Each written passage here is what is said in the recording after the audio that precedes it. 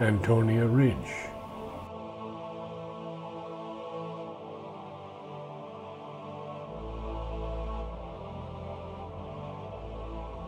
Roses in bloom are like music. They need no interpreter. They reach out beyond all barriers of race and language.